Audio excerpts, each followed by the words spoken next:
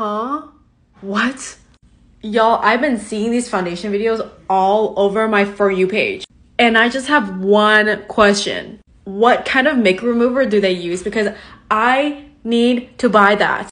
Like if water, if face mask, if all those things doesn't take the foundation off or doesn't even budge the foundation and the makeup remover they use take the foundation off, then I need the makeup remover.